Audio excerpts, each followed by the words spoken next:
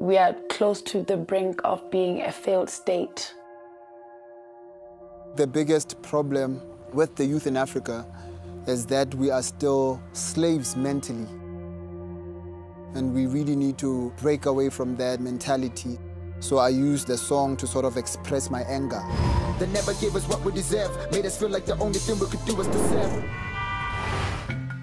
The unemployment rate is so high that people are turning to the creative arts. You can express or teach people through art. The painting teaches about how we should come together as Africans.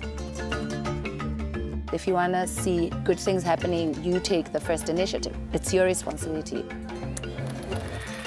These are some of the ladies that I teach how to recycle.